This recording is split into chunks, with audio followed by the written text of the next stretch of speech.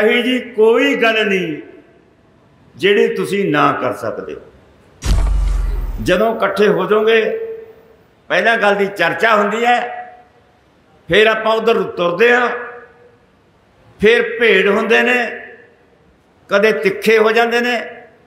ਆਖਰ ਜਿੱਤ ਆਪਣੀ ਹੁੰਦੀ ਆਪਾਂ ਕਦੇ ਨਹੀਂ ਹਾਰਦੇ, ਲੋਕ ਨਹੀਂ ਕਦੇ ਹਾਰੇ।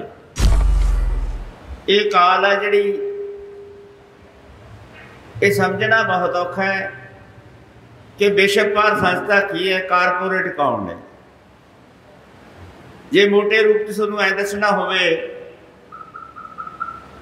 ਜਿਵੇਂ ਬੁਲਾਰੇ ਗਣਿਆ ਕੇ ਗਏ ਨੇ ਆ ਵੱਡੀਆਂ ਵੱਡੀਆਂ ਚੌੜੀਆਂ ਚੌੜੀਆਂ ਜਿਹੜੀਆਂ ਸੜਕਾਂ ਬਣੀਆਂ ਨੇ, ਇਹ ਵਿਸ਼ਵ ਭਾਰਤ ਸੰਸਥਾ ਦੇ ਹੁਕਮ ਨਾਲ ਹੀ ਬਣੀਆਂ ਨੇ, ਉਹਨਾਂ ਦੀਆਂ ਨੀਤੀਆਂ ਨਾਲ ਹੀ ਬਣੀਆਂ ਨੇ। ਜਿਹੜਾ ਸ਼ਰਮਾਇਆ, ਇਹਨਾਂ ਤੇ ਲੱਗਿਆ, ਦੁਕਾਨਾਂ ਲੱਗੀਆਂ ਨੇ ਟੈਕਸ ਲੱਗ ਰਿਹਾ ਟੋਲ ਟੈਕਸ ਲੱਗ ਰਹੇ ਨੇ। ਇਹ ਕਾਰਪੋਰੇਟ ਨੂੰ ਜਾਂਦੇ ਨੇ। ਕਾਰਪੋਰੇਟ ਦਾ ਮਤਲਬ ਹੈ ਵੱਡੇ ਸ਼ਰਮਾਏਦਾਰ ਲੋਕ, ਕੰਪਨੀਆਂ। ਉਹਨਾਂ ਨੂੰ ਆਪਾਂ ਕਾਰਪੋਰੇਟ ਕਹਿੰਦੇ ਆ।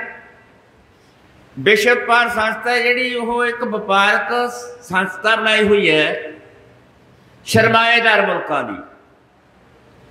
ਉਹ ਸਾਰੇ ਦੁਨੀਆ ਦੇ ਦੇਸ਼ ਨੇ ਜਿਹੜੇ 8 ਅਰਬਾਂ ਦੀ ਆਬਾਦੀ ਹੈ ਪੂਰੀ ਦੁਨੀਆ ਦੀ। 8 ਅਰਬ ਲੋਕ ਨੇ ਸਾਰੀ ਦੁਨੀਆ ਦੇ।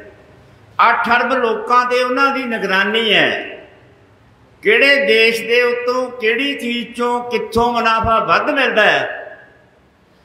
ਉਹ ਜਦੋਂ ਸਮਝੌਤਾ ਕਰਦੇ ਨੇ ਉਦੋਂ ਜਿਹੜੇ ਦਵੇ ਹੋਏ ਦੇਸ਼ ਨੇ ਜਿਵੇਂ ਭਾਰਤ ਹੈ, ਬੰਗਲਾਦੇਸ਼ ਹੈ ਪਾਕਿਸਤਾਨ ਹੈ ਛੋਟੇ ਛੋਟੇ ਮੁਲਕ ਨੇ ਜਿਹੜੇ ਦਬੇ ਹੋਏ ਮੁਲਕ ਨੇ, ਜਿਹੜੇ ਵਿਕਾਸਸ਼ੀਲ ਮੁਲਕ ਕਿਹਾ ਜਾਂਦਾ ਉਹਨਾਂ ਨੂੰ। ਉਹਨਾਂ ਤੇ ਆਪਣੀਆਂ ਸ਼ਰਤਾਂ ਵੜਦੇ ਨੇ। ਜਨੀ ਭਾਰਤ ਦੀ ਹਕੂਮਤ ਉਹਨਾਂ ਦੇ ਕਰਜ਼ਦਾਰ ਹੈ ਦੇਣਦਾਰ ਹੈ ਜਿਹਨੂੰ ਉਹਨਾਂ ਦੀ ਦੇਣਦਾਰੀ ਦੇ ਦਾਬੇ ਦੇ ਤਹਿਤ ਉਹਨਾਂ ਤੇ ਉਹ ਆ ਸਾਰੀਆਂ ਗੱਲਾਂ ਜਿਹੜੀਆਂ ਤੁਹਾਡੇ ਕੋਲੋਂ ਖੋਲੀਆਂ ਤੇ ਜਿਹੜੀਆਂ ਰਹਿੰਦੀਆਂ ਨੇ, ਉਹ ਖੋਣ ਜਾ ਰਹੀਆਂ ਨੇ ਇਹ ਬਕਾਇਦਾ ਸਕੀਮ ਹੈ, ਉਹਨਾਂ ਦੀ ਪਲਾਨ ਹੈ ਇਹਨਾਂ ਦੀ ਕਿ ਆਹ ਲੋਕਾਂ ਦੇ ਕੋਲੇ ਆਹ ਆਹ ਚੀਜ਼ਾਂ ਨਹੀਂ ਹੋਣੀਆਂ ਚਾਹੀਦੀਆਂ। ਪਹਿਲਾਂ ਤਾਂ ਸਭ ਤੋਂ ਵੱਡੀ ਗੱਲ ਵਿਦਿਆ। ਸ਼ੁਰੂ ਸ਼ੁਰੂ 'ਚ ਜਦੋਂ ਆਪਾਂ 47 ਤੋਂ ਬਾਅਦ ਇੱਕ ਦੌਰ ਆਇਆ ਫ੍ਰੀ 'ਚ ਵਿਦਿਆ ਮਿਲ ਜਾਂਦੀ ਹੁੰਦੀ 10ਵੀਂ ਪਾਸ ਮੌਜ ਨਾਲ ਬੰਦਾ ਕਰ ਜਾਂਦਾ। ਕੋਈ ਮਾਪਿਆਂ ਨੂੰ ਸਿਰਦਰਦੀ ਨਹੀਂ ਸੀ। ਬਿਜਲੀ ਆਈ ਹੈ ਸ਼ੁਰੂ ਸ਼ੁਰੂ ਦੇ ਵਿੱਚ ਇਹਨੂੰ ਕੋਈ ਲਵਾਉਂਦਾ ਨਹੀਂ ਸੀ। ਜਿਹੜੀਆਂ ਤੁਹਾਡੀਆਂ ਖੇਤਾਂ ਦੀਆਂ ਮੋਟਰਾਂ ਸੀ, ਤੁਹਾਨੂੰ ਆ ਕੇ ਬਿਜਲੀ ਬੋਰਡ ਤੁਹਾਡੇ ਤਰਲੇ ਕਰਦਾ 5000 ਰੁਪਇਆ ਦਿੰਦਾ, ਫਿਰ ਤੁਸੀਂ ਮੋਟਰਾਂ ਦਵਾਉਂਦੇ ਹੁੰਦੇ। ਆ ਯੂਰੀਆ ਜਦੋਂ ਤੁਹਾਨੂੰ ਦਿੱਤਾ, ਜਦੋਂ ਵੇਚਣਾ ਸੀ ਇਹਨਾਂ ਨੇ, ਉਦੋਂ ਗ੍ਰਾਮ ਸੇਵਕ ਪਿੰਡਾਂ ਦੇ ਵਿੱਚ ਥੈਲੀਆਂ ਲੈ ਕੇ ਵੰਡਦੇ ਫਿਰਦੇ ਹੁੰਦੇ। ਵੀ ਭਾਈ ਆਹ ਪਾਓ, ਇਹਦੇ ਨਾਲ ਫਾਇਦਾ ਹੋਊ ਯਾਨੀ ਜਿਹੜੇ ਪਾਸੇ ਨੂੰ ਇਹਨਾਂ ਨੇ ਲਾਉਣਾ ਸੀ ਉਦੋਂ ਇਹ ਸਹੂਲਤਾਂ ਬਹੁਤ ਸਸਤੀਆਂ ਸੀ। ਤੇ ਉਦੋਂ ਵਿਦਿਆ ਵੀ ਸਸਤੀ ਸੀ, ਬਿਜਲੀ ਵੀ ਸਸਤੀ ਸੀ, ਸਿਹਤ ਸਹੂਲਤਾਂ ਰਜਿੰਦਰਾ ਹਸਪਤਾਲ ਖੁੱਲਿਆ ਉਹਨਾਂ ਸਾਲਾਂ 'ਚ। 50 ਪੈਸਿਆਂ ਦੀ ਪਰਚੀ ਕਟਾਉਂਦੇ। ਬਾਰਸ ਨੂੰ ਉਹ ਬਾਹਰ ਹੀ ਭੇਜ ਦਿੰਦੇ ਵੀ ਤੂੰ ਘਰ ਨੂੰ ਜਾ। ਮਰੀਜ਼ ਅੰਦਰ ਦਾਖਲ ਹੋ ਜਾਂਦਾ ਤੇ ਉਹਨੂੰ ਨਰਸਾਂ ਆਪੇ ਸਾਂਭਦੀਆਂ, ਖਾਣ ਦਾ ਪ੍ਰਬੰਧ, ਦਵਾਈਆਂ ਦਾ ਪ੍ਰਬੰਧ, ਸਾਰਾ ਸਰਕਾਰ ਦਾ ਹੁੰਦਾ। ਤੇ ਜਦੋਂ ਉਹਨਾਂ ਨੂੰ ਪਤਾ ਲੱਗਿਆ ਵੀ ਆਹ ਤਾਂ ਇਹ ਯਾਰ ਇਹਨਾਂ 'ਚ ਤਾਂ ਮੁਨਾਫਾ ਹੀ ਵਾਲਾ ਹੈ। ਬਿਜਲੀ 'ਚ ਬਹੁਤ ਮੁਨਾਫਾ ਹੈ, ਵਿਦਿਆ ਵੇਚਣ 'ਚ ਬਹੁਤ ਮੁਨਾਫਾ ਹੈ, ਬਿਮਾਰੀਆਂ ਜ਼ਿਆਦਾ ਨੇ ਹਸਪਤਾਲਾਂ 'ਚ ਬਹੁਤ ਮੁਨਾਫਾ ਹੈ, ਸੜਕਾਂ 'ਚ ਬਹੁਤ ਮੁਨਾਫਾ ਹੈ, ਬੱਸਾਂ 'ਚ ਬਹੁਤ ਮੁਨਾਫਾ ਹੈ, ਰੇਲਵੇ 'ਚ ਬਹੁਤ ਮੁਨਾਫਾ ਹੈ, ਹਵਾਈ ਜਹਾਜ਼ਾਂ 'ਚ ਬਹੁਤ ਮੁਨਾਫਾ ਹੈ। ਜਨੇ ਹੁਣ ਉਹਨਾਂ ਨੂੰ ਆਇਆ ਗਿਆ ਵੀ ਅਨਾਜ ਦੇ ਵਿੱਚ ਵੀ ਬਹੁਤ ਮੁਨਾਫਾ ਇਦੋਂ ਗਾਹਾਂ ਉਹਨਾਂ ਨੂੰ ਇਹ ਗੱਲ ਤੇ ਵੀ ਆ ਗਿਆ ਵੀ ਪਾਣੀ ਦੇ ਵਿੱਚ ਵੀ ਬਹੁਤ ਮੁਨਾਫਾ ਹੈ। ਇਹ ਚਲੋ ਇਹਨਾਂ ਨੇ ਦੇਖ ਲਿਆ, ਤਾਂ ਇਹ ਵਿਸ਼ਵ ਪਰ ਸੰਸਥਾ ਨੇ ਨੀਤੀ ਸਾਰੀ ਦੁਨੀਆ ਦੀ ਬਣੀ। ਜਿੰਨੇ ਸਰਕਾਰੀ ਸੈਕਟਰ ਦੇ, ਉਹ ਸਾਰੇ ਪ੍ਰਾਈਵੇਟਾਂ ਨੂੰ ਦੇ। ਇਹ ਵਿਸ਼ਵ ਪਰ ਸੰਸਥਾ ਦੀ ਨੀਤੀ ਬਣਾਈ।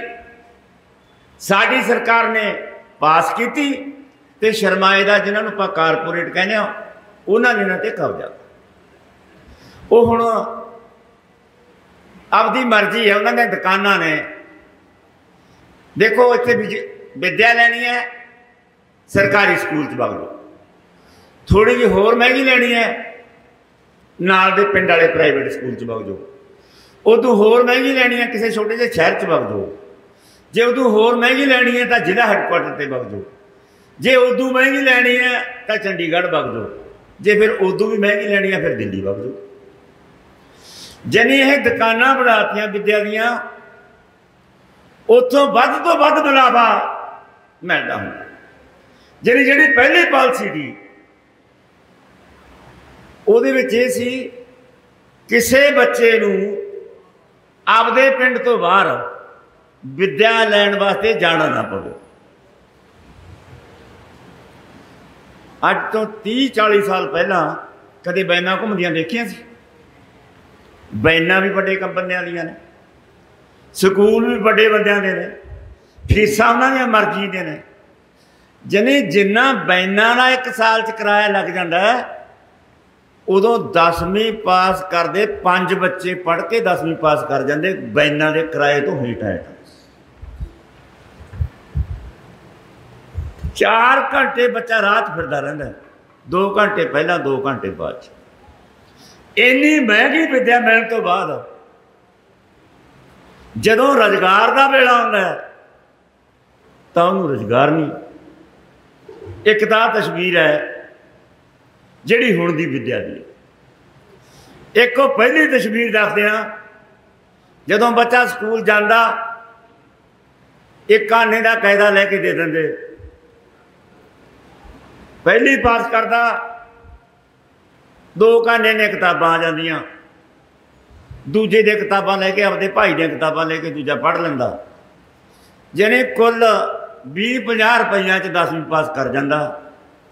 10ਵੀਂ ਪਾਸ ਕਰਦਿਆਂ ਸਾਰ ਨੌਕਰੀ ਪੱਕੀ। ਕਨੈਕਟਰ ਲੱਗੋ, ਚਪੜਾਸੀ ਲੱਗੋ, ਜੇ ਗਿਆਨੀ ਕਰ ਲਈ ਟੀਚਰ ਲੱਗ ਜਾਓ ਜੇ ਸ਼ਸਤੀ ਕਰ ਲਈ ਮਾਸਟਰ ਲੱਗ ਜਾਓ ਨਹੀਂ ਫੌਜ ਤਾਂ ਕਿਧਰੇ ਗਈ ਨਹੀਂ, ਪੁਲਿਸ ਕਿਧਰੇ ਗਈ। ਜਦੋਂ ਵਿਦਿਆ ਸਸਤੀ ਸੀ, ਉਦੋਂ ਰੋਜ਼ਗਾਰ ਬਹੁਤ ਸੀ। ਕਾਰਨ ਇਹ ਵੀ ਪ੍ਰਾਈਵੇਟ ਸਕੂਲ ਹੈ ਹੀ ਨਹੀਂ ਸੀ। ਜਦੋਂ ਇਹ ਸਰਕਾਰੀ ਸਕੂਲ ਖਤਮ ਕਰਤੇ ਸਕੂਲ ਪ੍ਰਾਈਵੇਟ ਹੋ ਗਏ, ਸਰਕਾਰੀ ਨੌਕਰੀ ਵੀ ਖਤਮ ਹੋ ਵਿਦਿਆ ਮਹਿੰਗੀ ਹੋ ਗਈ, ਰੋਜ਼ਗਾਰ ਖਤਮ ਹੋ ਉਹ ਹਾਲ ਇਹ ਆ ਪ੍ਰਬੰਧ ਹੈ ਕਾਰਪੋਰੇਟ ਦਾ, ਆ ਪ੍ਰਬੰਧ ਹੈ ਵਿਸ਼ਵ ਭਰ ਸੰਸਥਾ ਦਾ, ਆ ਪ੍ਰਬੰਧ ਹੈ ਸਰਕਾਰੀ ਜਿਹਦੇ ਚ, ਸਸਤੀ ਵਿਦਿਆ, ਸਸਤਾ ਇਲਾਜ, ਸਸਤਾ ਕਿਰਾਇਆ, ਸੁੰਦਰ ਵਾਤਾਵਰਣ ਚੰਗਾ ਭਾਈਚਾਰਾ, ਉੱਤਮ ਖੇਤੀ। ਇਹ ਸਾਡਾ ਪਹਿਲਾ ਮਾਡਲ ਸੀ। ਆ ਕਾਰਪੋਰੇਟ ਦਾ ਮਾਡਲ ਜਦੋਂ ਲਾਇਆ ਉਹਨੇ ਸਾਡੇ ਕੋਲੋਂ ਵਿੱਦਿਆ ਵੀ ਖੋਲੀ, ਬਿਜਲੀ ਜ਼ਬਰਦਸਤੀ ਰੱਖੀ ਹੋਈ ਹੈ, ਅੰਦੋਲਨ ਕਰਕੇ ਰੱਖੀ ਹੋਈ ਹੈ। ਅੱਜ ਜਿੰਨੇ ਆਪਾਂ ਹੈਗੇ ਆ, ਬਿਜਲੀ ਵਰਤਦੇ ਆ, ਸਾਰੇ ਚੋਰੀ ਕਰਦੇ। 600 ਯੂਨਿਟਾਂ ਤੋਂ ਬਾਅਦ ਵੀ ਚੋਰੀ ਕਰਦੇ। ਜੇ ਬਿਜਲੀ ਵਰਤੀਏ, ਤਾਂ ਇਹਦੇ ਪੈਸੇ ਨਹੀਂ ਦਿੱਤੇ ਜਾ ਸਕਦੇ। ਇਲਾਜ ਕਰਾਇਆ ਨਹੀਂ ਜਾ ਸਕਦਾ ਬਿਮਾਰ ਦਾ। ਜਨੀ ਹਾਲਤਾਂ ਇੰਨੀਆਂ ਜੀਆਂ ਨੇ ਕਿ ਜਦੋਂ ਕਾਰਪੋਰੇਟ ਨੇ ਵਿਸ਼ਵ ਪਰ ਸੰਸਥਾ ਦੀਆਂ ਨੀਤੀਆਂ ਨੂੰ ਲਾਗੂ ਕੀਤਾ ਲੋਕਾਂ ਤੇ। ਲੋਕਾਂ ਦਾ ਸੰਕਟ ਵੱਧ ਗਿਆ। ਸਰਮਾਏਦਾਰਾਂ ਦਾ ਮੁਨਾਫਾ ਵੱਧ ਗਿਆ। ਸਾਡੇ ਬਿਮਾਰੀਆਂ ਵੱਧ ਗਈਆਂ। ਸਾਡੇ 'ਚ ਬੇਚੈਨੀ ਹੋ ਗਈ। ਸਾਡਾ ਕਰਜ਼ਾ ਵੱਧ ਗਿਆ। ਸਾਡੇ ਖੁਦਕੁਸ਼ੀਆਂ ਵੱਧ ਗਈਆਂ। ਸਾਡੇ ਨਸ਼ਾ ਵੱਧ ਗਿਆ। ਸਾਡੇ ਗੁੰਡਾਗਰਦੀ ਵੱਧ ਗਈ। ਸਾਡੇ ਘਰਾਂ ਦੇ ਕਲੇਸ਼ ਵੱਧ ਤੇ ਹਾਲਤ ਇਹ ਹੋ ਗਈ ਵੀ ਸਾਨੂੰ ਘਰ ਦੀਆਂ ਲੋੜਾਂ ਪੂਰੀਆਂ ਕਰਨ ਵਾਸਤੇ ਜ਼ਮੀਨਾਂ ਵੇਚਣੀਆਂ ਪੈ ਰਹੀਆਂ। ਹੁਣ ਜਦੋਂ ਉਹਨਾਂ ਨੇ ਵਿਦਿਆ ਖੋਲੀ ਬਿਜਲੀ ਖੋਲੀ ਸਿਹਤ ਖੋਲੀ ਰੇਲ ਦਾ ਸਫ਼ਰ ਖੋਲਿਆ ਹਵਾਈ ਸਫ਼ਰ ਖੋਲਿਆ ਬੱਸਾਂ ਦਾ ਸਫ਼ਰ ਖੋਲਿਆ ਖਾਣਾ ਖੋਲੀਆਂ ਹੁਣ ਉਹਨਾਂ ਨੇ ਸੋਡੇ ਕੋਲੋਂ ਖਾਣ ਵਾਲੀਆਂ ਚੀਜ਼ਾਂ ਖੋਣੀਆਂ ਖਾਣ ਵਾਲੀਆਂ ਚੀਜ਼ਾਂ ਦੇ ਵਿੱਚੋਂ ਜਿੰਨੇ ਤੁਸੀਂ ਬੈਠੇ ਹੋ, ਆਪਦੇ ਸਾਰੇ ਪਿੰਡਾਂ ਜਾ ਕੇ ਨੇਗਾ ਮਾਰ ਲਿਓ। ਅੱਜ ਤੋਂ 5 ਸਾਲ ਪਹਿਲਾਂ ਜਿੰਨੇ ਪਸ਼ੂ ਸੀ ਐਸ ਹੁਣ ਇੱਕ 5 ਸਾਲਾਂ ਬਾਅਦ ਹੁਣ ਤੁਹਾਡੇ ਕੋਲੇ ਪਸ਼ੂ ਕਿੰਨੇ ਰਹੇ? ਹਰ ਇੱਕ ਘਰ 'ਚ ਗੱਲ ਚੱਲਦੀ ਹੈ ਕਿ ਮੱਝ ਰੱਖਣ ਦਾ ਕੀ ਫਾਇਦਾ? ਕਈ ਵਾਰੀ ਮੈਨੂੰ ਵੀ ਕਹਿ ਦਿੰਦੇ ਨੇ ਬੰਦੇ, ਪ੍ਰਧਾਨ ਜੀ, ਤੁਸੀਂ ਮੱਝ ਕਾਦੇ ਵਾਸਤੇ ਰੱਖੀ ਹੈ? ਤੁਹਾਨੂੰ ਤਾਂ 2 ਕਿਲੋ ਦੁੱਧ ਨਹੀਂ ਮੁੱਕਦਾ। ਯਾਨੀ ਇਸ ਗੱਲ ਨੇ ਮੱਝਾਂ ਛੋਡੀਆਂ ਘਰਾਂ ਤੋਂ ਬਾਹਰ ਕਰਤਾ ਕਿਉਂਕਿ ਨਕਲੀ ਦੁੱਧ ਇੰਨਾ ਬਣਦਾ ਹੈ, ਦੁੱਧ ਸਸਤਾ ਹੀ ਇੰਨਾ ਹੋ ਗਿਆ ਕਿ ਫੀਡ ਵੀ ਨਹੀਂ ਮੁੜਦੀ। ਇਹ ਬਕਾਇਦਾ ਚਾਲ ਹੈ, ਖੇਡ ਹੈ। ਜਦੋਂ ਕਿਸੇ ਅਦਾਰੇ ਨੂੰ ਫੇਲ ਕਰਨਾ ਹੋਵੇ, ਜਦੋਂ ਕੋਈ ਚੀਜ਼ ਕਿਸੇ ਤੋਂ ਖੋਣੀ ਹੋਵੇ ਤਾਂ ਉਹਦੀ, ਉਹਦਾ ਮੰਦਾ ਹਾਲ ਕਰਨਾ ਜ਼ਰੂਰੀ ਹੁੰਦਾ ਆ ਦੁੱਧ ਦਾ ਮੰਦਾ ਹਾਲ ਕਰਨ ਨਾਲ ਛੋਟੀਆਂ ਮੱਝਾਂ ਗਈਆਂ। ਜਿੱਦਾਂ ਇਹ ਮੱਝਾਂ ਚਲੀਆਂ ਗਈਆਂ, ਉਹਦੇ ਦੁੱਧ ਸੋਤੋਂ 200 ਰੁਪਏ ਕਿਲੋ ਤੁਹਾਨੂੰ ਮਿਲਣਾ।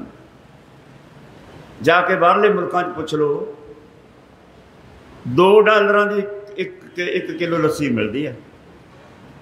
ਲੱਸੀ 2 ਡਾਲਰਾਂ ਦੀ 1 ਕਿਲੋ। ਜਨੀ ਇਹ ਜਿਹੜੀਆਂ ਚੀਜ਼ਾਂ ਨੇ, ਲਗਭਗ ਦੁੱਧ ਵੀ ਤੁਹਾਡੇ ਕੋਲ ਪਸ਼ੂ ਧਨ ਵੀ ਲੈ ਗਏ। ਤੇ ਹੁਣ ਤੁਹਾਡੇ ਕੋਲ ਕਰਜ਼ਾ ਤੁਹਾਡੇ ਸਿਰ ਚੜਿਆ ਹੋਇਆ ਹੈ। ਰਜਗਾਰ ਹੈ ਨਹੀਂ, ਬੱਚਿਆਂ ਨੂੰ ਕੋਈ ਕੰਮ ਨਹੀਂ, ਖੇਤੀ ਦੀ ਆਮਦਨ ਨਾਲ ਘਰ ਦਾ ਗੁਜ਼ਾਰਾ ਨਹੀਂ ਹੁੰਦਾ। ਆੜਤੀਆ ਪੈਸੇ ਨਹੀਂ ਦਿੰਦਾ। ਘਰ ਦੀਆਂ ਲੋੜਾਂ ਪੂਰੀਆਂ ਕਰਨ ਵਾਸਤੇ ਹੁਣ ਤੁਹਾਨੂੰ ਜ਼ਮੀਨਾਂ ਕਣੀ ਤੁਹਾਡੀ ਅੱਖ ਤੁਹਾਡੀ ਵੀ ਅੱਖ ਜ਼ਮੀਨਾਂ ਕਣੀ ਹੈ, ਉਹਨਾਂ ਦੀ ਅੱਖ ਵੀ ਜ਼ਮੀਨਾਂ ਕਣੀ ਕਿ ਜੇ ਪੰਜਾਬ ਨੂੰ ਗੁਲਾਮ ਰੱਖਣਾ ਹੈ, ਤਾਂ ਇਹਨਾਂ ਦੀਆਂ ਉਪਜਾਊ ਜ਼ਮੀਨਾਂ ਨੂੰ ਵਧਾਓ ਹੁਣ ਜਦੋਂ ਇੱਥੇ ਇੱਕ ਬੁਲਾਰਾ ਗੱਲ ਕਰਦਾ ਸੀ ਕਿ ਇੱਕ ਬੰਦੇ ਨੇ 80 ਲੱਖ ਦਾ ਕਿਲਾ ਵੇਚਿਆ, ਫਿਰ ਕਰੋੜ ਮੁੱਲ ਕੀਤਾ, ਉਹ ਕਰੋੜ ਦੇਣ ਵਾਸਤੇ ਵੀ ਤਿਆਰ ਹੋ ਗਿਆ। ਫਿਰ 1.5 ਕਰੋੜ ਕਿਹਾ ਵੀ 1.5 ਕਰੋੜ ਦੇਣ ਵਾਸਤੇ ਵੀ ਤਿਆਰ ਹੋ ਗਿਆ। 4-4 ਕਰੋੜ ਦੇਣਗੇ ਇਹ ਤੁਹਾਨੂੰ। 4-4 ਕਰੋੜ। ਜਾ ਕੇ ਮਹਾਲੀ ਦੇਖਿਓ, ਤੁਸੀਂ ਸੰਗਰੂਰ ਜ਼ਿਲ੍ਹੇ ਵਾਲੇ ਬੈਠੇ ਹੋ।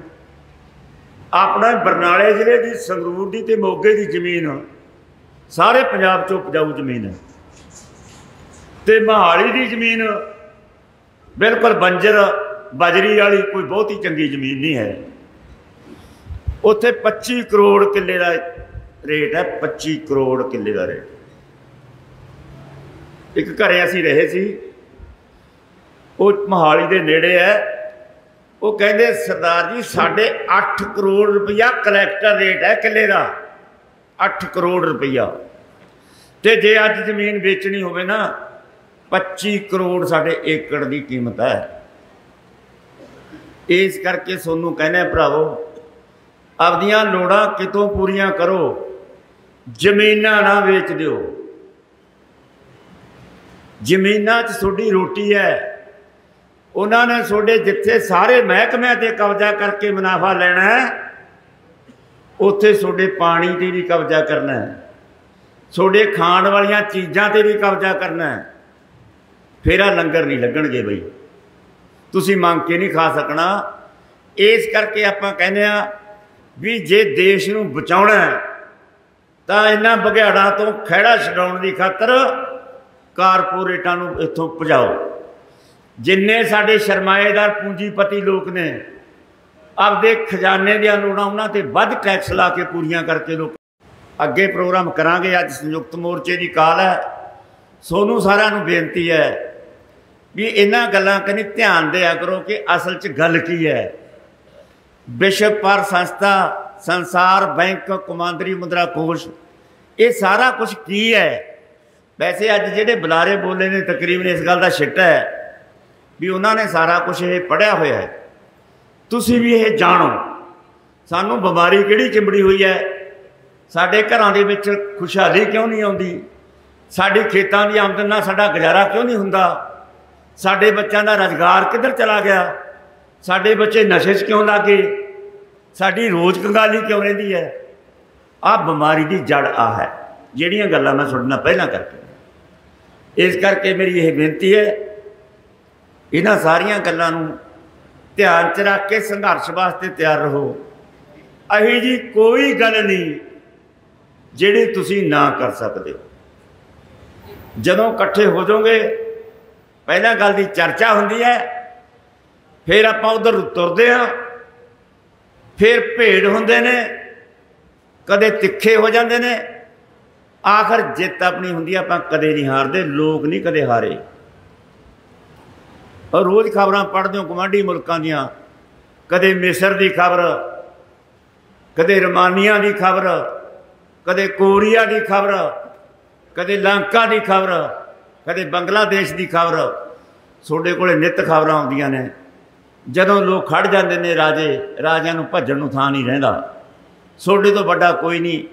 ਇਸ ਕਰਕੇ ਲੋੜ ਇਸ ਗੱਲ ਦੀ ਹੈ ਕਿ ਹੁਣ ਐਂ ਕਹੇ ਤੋਂ ਨਹੀਂ ਸਰਨਾ। ਜਦੋਂ ਸਾਰਿਆਂ ਨਾਲ ਹੋ ਉਦੋਂ ਦੇਖ ਲਾਂਗੇ। ਜਦੋਂ ਇਸ ਗੈਰ ਹਾਜ਼ਰੀ ਇਹਦੇ ਵਿੱਚ ਆਉਣ ਵਾਸਤੇ ਆਪਾਂ ਸਿਰ ਜੋੜ ਕੇ ਬੈਠੀਏ, ਦੂਜਿਆਂ ਨੂੰ ਨਾਲ ਲਈਏ, ਲੜਾਈ ਵੱਡੀ ਜ਼ਰੂਰ ਹੈ, ਪਰ ਐ ਨਹੀਂ ਵੀ ਇਹ ਜਿੱਤੀ ਨਹੀਂ ਜਾ ਸਕਦੀ। ਜਿੱਤੀ ਜਾਊਗੀ। ਜਦੋਂ ਆਪਾਂ ਇਕੱਠੇ ਹੁੰਨੇ ਆ, ਆਪਣੀ ਗੱਲ ਆਪਾਂ ਨੇ ਬਗਾਈ ਆ। ਤੁਹਾਡਾ ਬਹੁਤ ਬਹੁਤ ਧੰਨਵਾਦ।